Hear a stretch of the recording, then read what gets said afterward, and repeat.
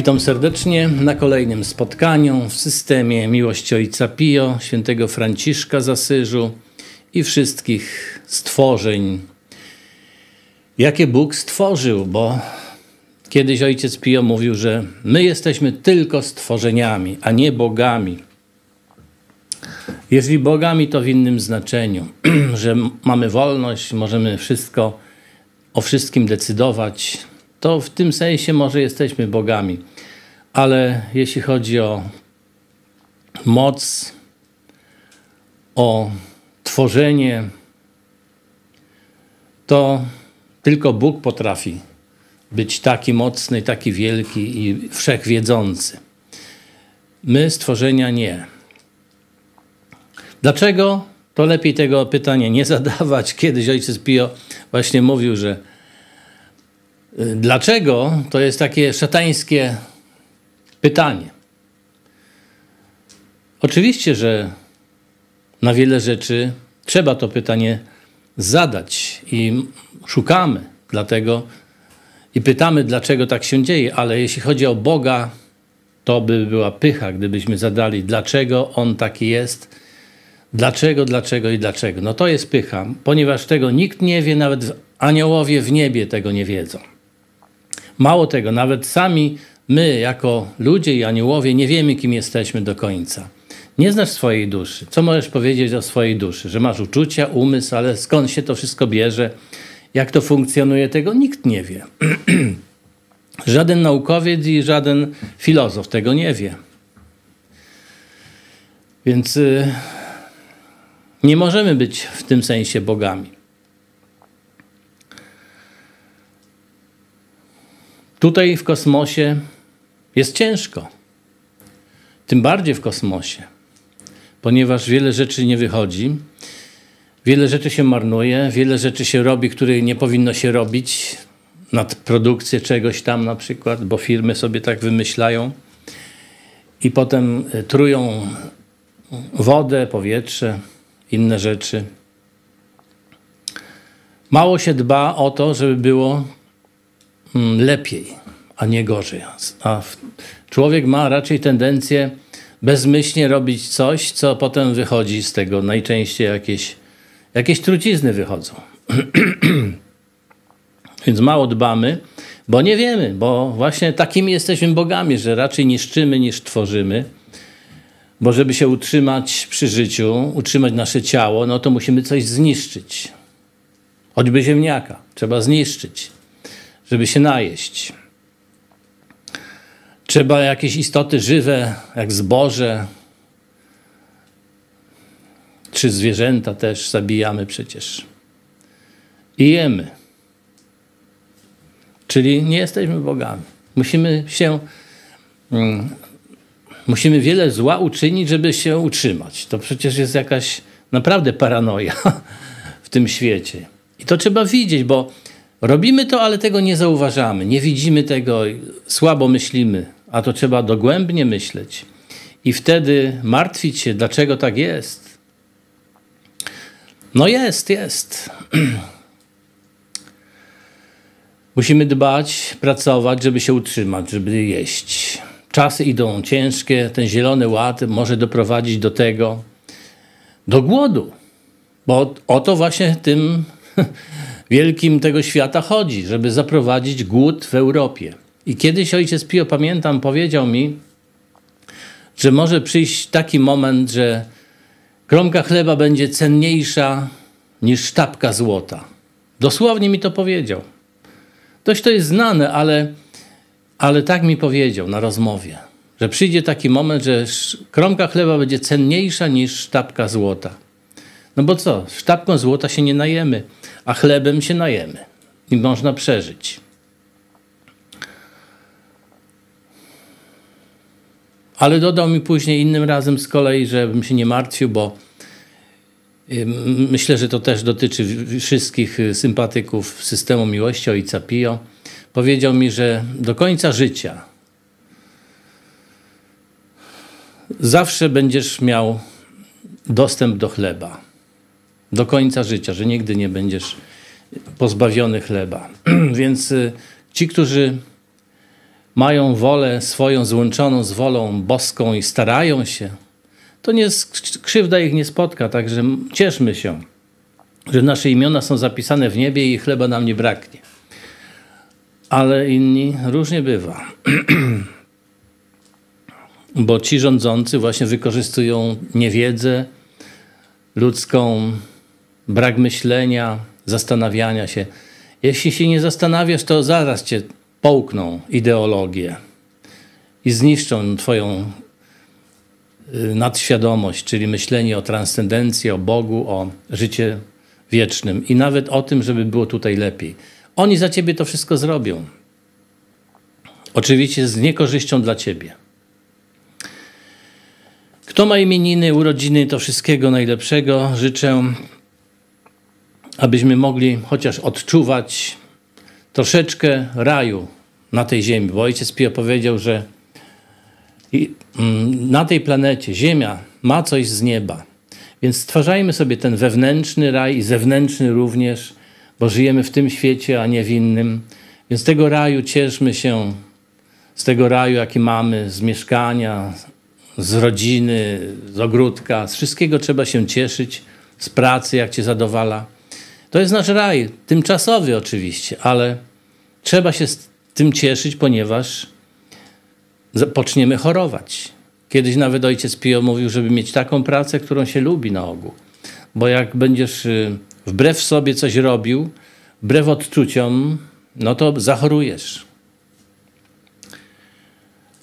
90% ojciec mówi, to prawie wszystko to są choroby z nerwów głównie, a reszta to pożywienie, powietrze, woda.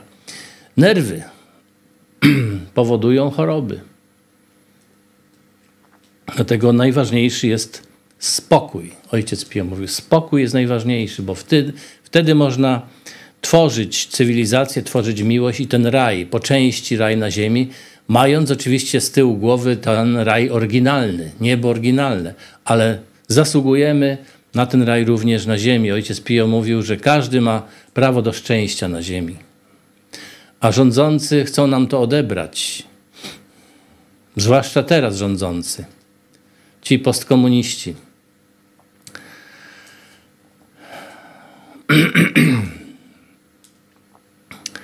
to pomódmy się. Wkładamy do koszyczka wszystkie nasze raje i antyraje, nasze zdrowie, nasze myśli, wszystko. Ojcze nasz, któryś jest w niebie, święcie imię Twoje, przyjdź królestwo Twoje, bądź wola Twoja, jako w niebie, tak i na ziemi. Chleba naszego powszedniego daj nam dzisiaj i odpuść nam nasze winy, jako i my odpuszczamy naszym winowajcom. I nie wódź nas na pokuszenie, ale nas zbaw ode złego. Amen. Mamy się zbawiać od złego, unikać złego. Jasne, że nie unikniemy cierpienia. Na tym świecie domeną główną jest cierpienie. Rodzisz się, płaczesz, umierasz, płaczesz, żyjesz. To w większości też musisz się starać, męczyć, żeby coś zdobyć, żeby coś zrobić. Więc jest dużo cierpienia w tym świecie. Ale mamy unikać tego cierpienia raczej myśleć o wyższych rzeczach, o ostatecznych też, ponieważ tam będziemy w pełni szczęśliwi bez cierpienia. A tutaj musimy się zbawiać od tego cierpienia.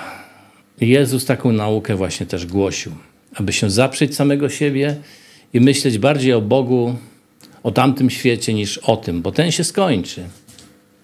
Rządy się skończą, partie się skończą, wszystko się skończy i chleb się skończy.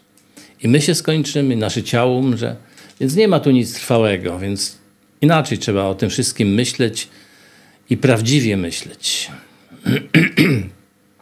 Przeczytam wam wiersz mój. Wizja. W tej wizji żyjemy, co przestaje martwić, której nadzieja konstruuje olbrzymie przestrzenie dobrego bytu Zauważyć będzie można spoczynek gwiazd i wytchnienie wszelkiego nerwu. Słowem, będzie to szczęście. Korzeniem tego źródła sprawiedliwość. Oto na tej pustyni wytrysną te źródła zazielenią się stepy i wyrosną rozłożyste drzewa.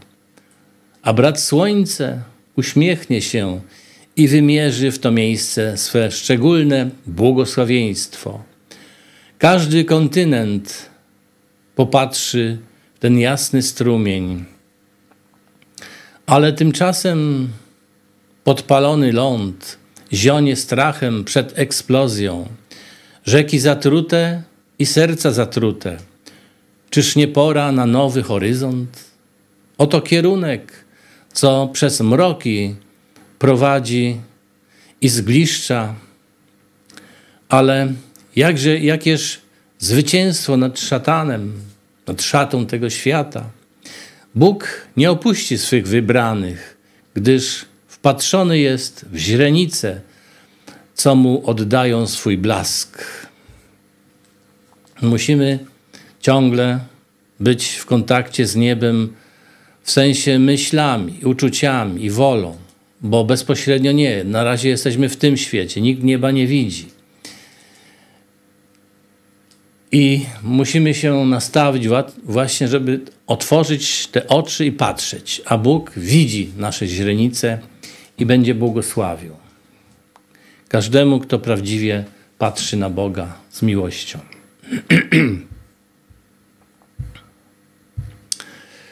I jeszcze parę myśli z drugiego tomu. Na styku umysłu i emocji podejmuje się nieraz bardzo dziwne decyzje. Od stania się ateistą po religijny fanatyzm. Bywają jednak osoby, które potrafią zbilansować swoje stany, podsumować okres nieporozumienia ze samym sobą i podjąć odpowiednie kroki. Ale większość unika tej tak ostrej konfrontacji z własnymi przekonaniami. Boją się uderzeń emocji i pomówień z różnych stron. Trudno się dziwić. Jest to jednak najtrudniejszy etap życiowych, życiowy. Trzeba zatem pokonywać siebie i być jakby ponad sobą. Wówczas nic nie boli Trzeba stać się szczęśliwym dzieckiem. A rodzica mamy wspaniałego, jak ojciec Pio mówi, że Bóg jest najwspanialszym rodzicem, miłosiernym i wszystkich doprowadzi do nieba. Wszyscy się zbawią. No może tam parę, parę mm, aniołów się nie zbawi, bo kiedyś właśnie ojciec Pio mówił, że są dusze, ale prawie to się nigdy nie zdarza, że Bóg by unicestwił taką duszę. Mówi, że prawie to się nigdy nie zdarza, ale są, że zostaną unicestwione te dusze. Ale to nie dusze z tej ziemi, to, to są jeszcze gorsze cywilizacje i, i gorsze anioły, które zioną nienawiścią. I oni się nie, nie chcą zmienić i nie zmienią. I te dusze będą unicestwione, rozmontowane, rozkodowane, ojciec Pio mówił. Ale to prawie się nigdy nie zdarza, więc spokojna nasza rozczochrana.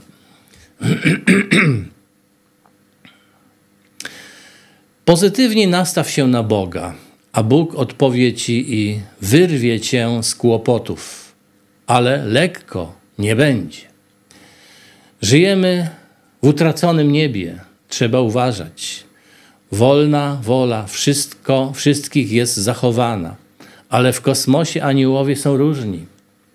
Potrafią też dokuczać, zanim się zbawią i sami staną się miłością. Wszyscy tutaj, którzy pogubili się w swojej wiedzy, stracili wiedzę stracili miłość, no to mogą dokuczać i dokuczają zwłaszcza politycy, ta, ta strona z PO postkomunistyczna. Jeśli chodzi o politykę, oczywiście. Ja mówię, że polityka jest duchowością, bo wszystko wynika z świadomości. I technika, i polityka, wszystko, co się dzieje na tym świecie, wynika z świadomości tej mądrzejszej albo tej głupszej.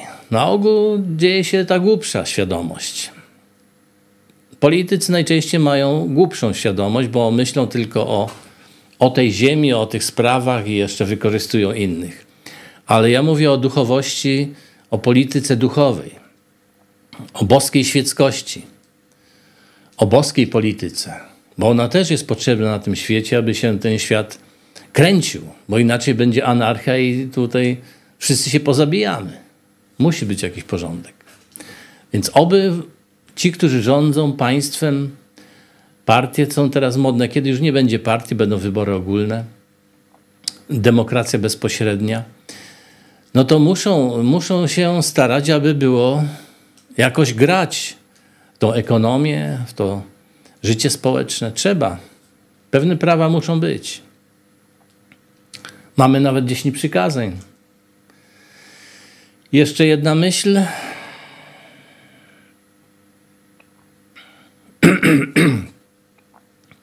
Zajmujesz się tysiącami spraw. One zasłaniają ci w dużej mierze sprawy duszy, jeśli nie odniesiesz ich do transcendencji.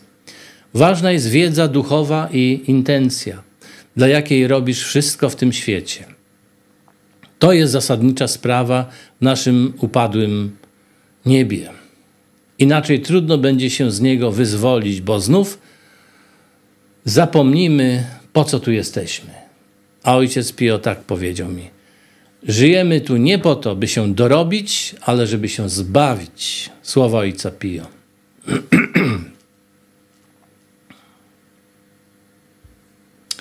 I na koniec wiersz Maćka jeszcze. Mykogito. W skorupach, zaszyfrowanych portfelach, milion to nasze imię. Każdy z nas drzewem w gaju bambusowym. Inni, a jednakowi. Ta sama chciwość, agresja, profanacja. Szkarłatni i przeźroczyści. Puste kielichy, dzbany. Ni miodu, ni człowieka Pół życie, pół piekło.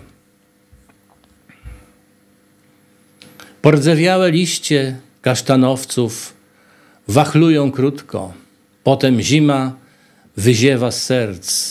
Dlatego lata chłodne, jesienne, ludzie. Aniołów na ambonach nie znajdziesz, a na trybunach piłatów, hosztaplerów, malwersantów. Bambusy rosłyby bez nas, jabłonie, czeremchy istniały bez nas.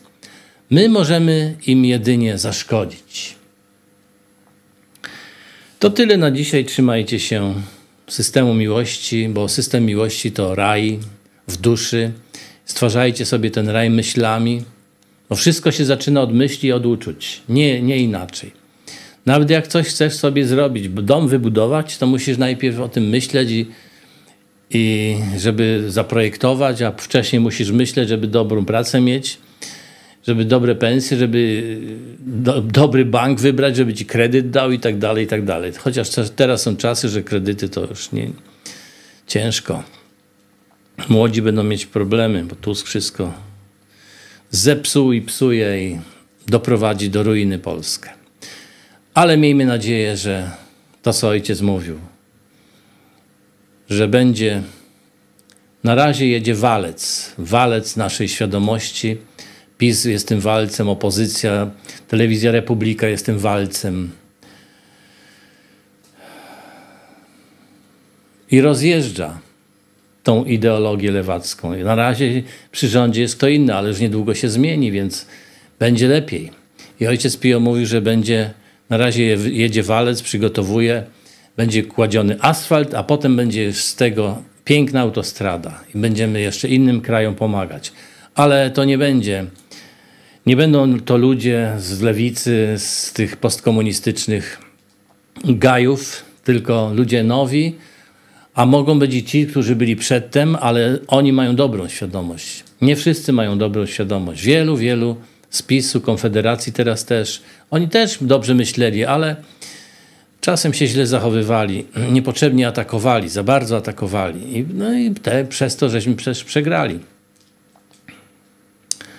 Ale będzie dobrze. To na razie. Trzymajcie się systemu, systemu miłości i papa.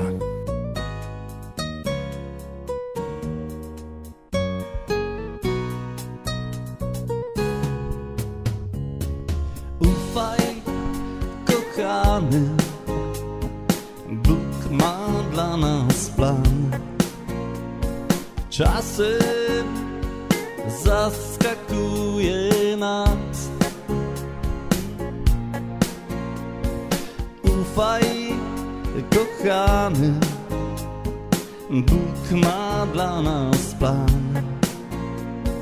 Czasem zaskakuje nas system miłości, w którym ciągle trwam. On dla wszystkich jest, dla każdego z nas.